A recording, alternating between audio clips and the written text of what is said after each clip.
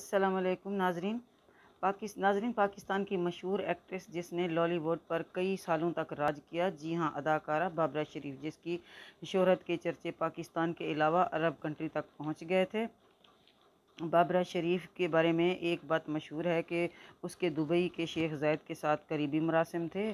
उसने शादी तो सिर्फ़ एक ही की, लेकिन बहुत ज़्यादा मुआशकों की दास्तानें छोड़ी। आज इस रात से भी पर्दा उठाया जाएगा, वो कौन से मशहूर अदाकार थे जिनसे बाबरा शरीफ को इश्क हुआ था। बाबरा शरीफ किसी तारफ़ की मोहताज नहीं, जिसकी खूबसूरती के चर्चे आम थे, जिसके दीवाने ना सिर्फ़ अवाम, बल्कि बल्कि फ़िल्म इंडस्ट्री से वाबस्ता लोग भी हुआ करते थे। बाबरा शरीफ के इश्क में मुबतला कई टॉप फनकार अपनी जान से हाथ भी धो बैठे थे। बाबरा शरीफ घी वाले की बेटी थी। उसका वालिद घी का कारोबार करता था, जिसका एक बेटा और तीन बेटियाँ थीं। पहली बेटी बड़ी बेटी फिरदोस शरीफ, दूसरी बेटी फ़ाखरा शरीफ तीसरी बेटी बाबरा शरीफ। ने बाबरा शरीफ से पहले फ़िल्म इंडस्ट्री में बतौर रकासा कदम रखा, जिसकी पहली फ़िल्म थी इंसान और आदमी, जिसमें फ़ाखरा शरीफ कामयाब ना हो सकी। उसके बाद बाबरा शरीफ की बारी आई। बाबरा शरीफ अपनी दोनों बहनों से बहुत ज़्यादा चलाक थी, जिसने फ़िल्म इंडस्ट्री में कामयाब होने के लिए कई लोगों को अपनी मोहब्बत का असीर तस्वीर किया और उसे इस्तेमाल करके पीछे छोड़ दिया, जिसमें पहला शिकार top comedy comedy Munawar Zarif था।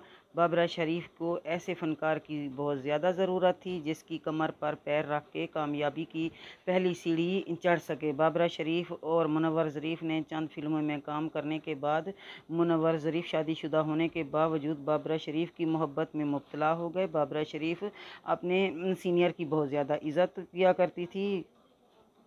शहनशाह ज़राफ़त तो वैसे भी इज़्ज़त के काबिल थे। बाबरा शरीफ की खुशकस्मती थी कि बाबरा शरीफ की खुशकस्मती थी कि फ़िल्म इंडस्ट्री का इतना बड़ा फ़नकार उसका दीवाना हो चुका था। बाबरा शरीफ इस वक्त 21 साल की थी। मुनवर ज़रीफ़ की बदौलत बाबरा शरीफ को दीगर फ़िल्मों में काम मिला। इसी दौरान मुनवर ज़रीफ़ को दिल का दौरा पड़ा और वह अपने खाले के हकीकी से जा मिले।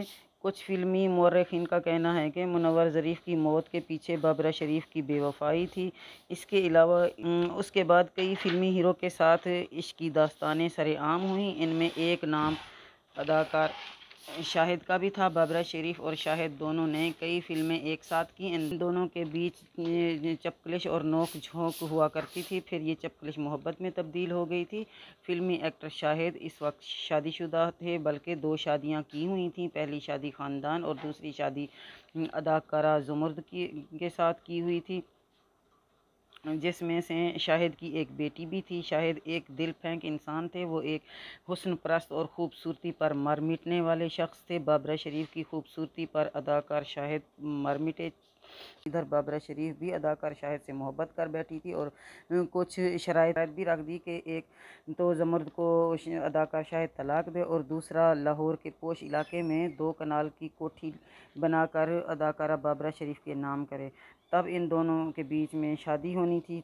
दोनों ने कराची में खुफिया तौर पर जाकर शादी कर ली, फिर फ़ौर लंदन चले गए। लंदन से वापसी पर शाह अदाकार शाहिद ने लाहौर में दो कनाल का प्लाट लेकर बाबरा शरीफ के लिए घर बनवाने लगे तो आहिस्ता आहिस्ता दोनों में चपकलिश पैदा हो गई और वो तलाक की सूरत इख्तियार कर गई और यूँ बाबरा शरीफ फिर अकेली हो गई। इसके अलावा बाबरा शरीफ की, सलमा आगा के शोहर के साथ भी लव स्टोरी चली, लेकिन वो एक अधूरी लव स्टोरी थी। फिर मशहूर अदाकार फैसल बाबरा शरीफ को दिल दे बैठे। फैसल बाबरा शरीफ से उम्र में काफ़ी छोटे थे, लेकिन वो एक फ़िल्म में बाबरा के साथ आए, फिर उसके जुल्फ़ों के असीर हो गए, लेकिन बाबरा शरीफ ने उसको कोई लिफ्ट नहीं की।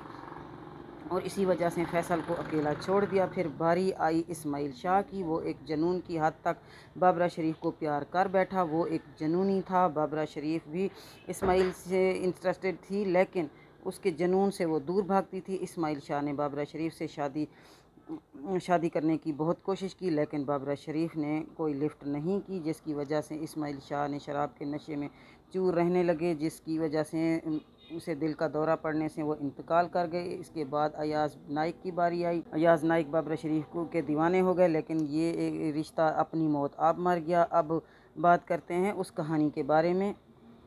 बाबरा शरीफ के दुबई के शेख जैद के साथ ताल्लुकात थे, लेकिन इस खबर में कोई सदाकत नहीं। बाबरा शरीफ एक मुहज़ लड़की थी। उसने कभी जिसम फरोशी का काम नहीं किया। नाजरीन, अगर आपको मेरी वीडियो पसंद आई तो मेरी वीडियो को लाइक करें और मेरे चैनल को सब्सक्राइब करें और बेल आइकन को दबाएँ।